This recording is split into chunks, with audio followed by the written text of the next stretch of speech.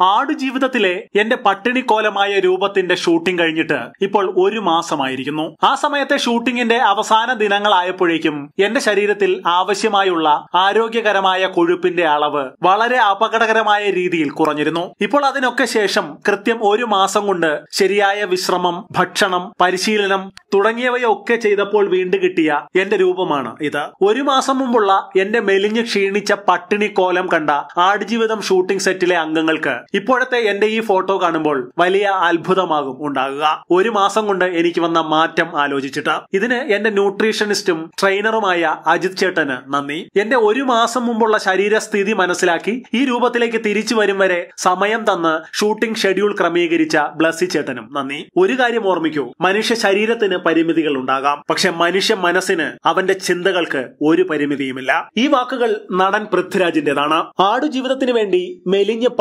പട്ടിണിക്കോലമായ രൂപത്തിൽ നിന്നും ഒരു മാസത്തെ തിരിച്ചുവരവ് ശരീരത്തിൽ നടത്തിയ പൃഥ്വിരാജ് തന്റെ പുതിയ രൂപം ആരാധകർക്കായി വെളിപ്പെടുത്തിക്കൊണ്ടാണ് സോഷ്യൽ മീഡിയയിൽ ഈ വാക്കുകൾ കുറിച്ചത്. ഈ പോസ്റ്റിൽ ദുൽഖർ സൽമാനെ പൃഥ്വിരാജ് ടാഗ് ചെയ്തിട്ടുണ്ട് എന്നതാണ് കൗതുകകരമായ മറ്റൊരു വസ്തുത. പൃഥ്വിരാജിന്റെ സമർപ്പണത്തെയും ത്യാഗത്തെയും പ്രശംസിച്ച് നേരത്തെ ദുൽഖർ സൽമാൻ സോഷ്യൽ മീഡിയയിൽ എത്തിയിരുന്നു. മാത്രവുമല്ല ആടുജീവിതം ഷൂട്ടിംഗുമായി ബന്ധപ്പെട്ട് ജോർദാനിൽ എത്തിയ പൃഥ്വിരാജ് കോവിഡ് നയന്റീൻ വ്യാപനത്തെ തുടർന്ന് അവിടെ കുടുങ്ങിയപ്പോൾ പൃഥ്വിരാജിന് മാനസിക പിന്തുണയുമായി ദുൽഖർ സൽമാൻ നിരന്തരം അദ്ദേഹവുമായി ബന്ധപ്പെടുകയും ചെയ്തിരുന്നു. ഇന്ത്യൻ സിനിമ ഈ അടുത്ത കാലത്ത് കണ്ട ഏറ്റവും വലിയ സഹനമാണ് പൃഥ്വിരാജ് തന്റെ കഥാപാത്രത്തിനായി നടത്തിയതെന്ന് ചൂണ്ടിക്കാണിക്കുന്ന ധാരാളം പേരുണ്ട്. ആടുജീവിതത്തിലെ നജീബാകാൻ മുപ്പത് കിലോയോളമാണ് ശരീരഭാരം പൃഥ്വിരാജ് കുറച്ചത്. ബെന്യാമിന്റെ വിഖ്യാത നോവൽ ആടുജീവിതം അതേ പേരിൽ സിനിമയാകുമ്പോൾ ബ്ലസിയാണ് സംവിധായകനായത്. ജോർദാൻ മരുഭൂമിയിൽ ചിത്രീകരണത്തിന് പോയ സിനിമാ സംഘം കൊറോണ വ്യാപനവും തുടർന്നുള്ള ലോക്ഡൌണും കൊണ്ട്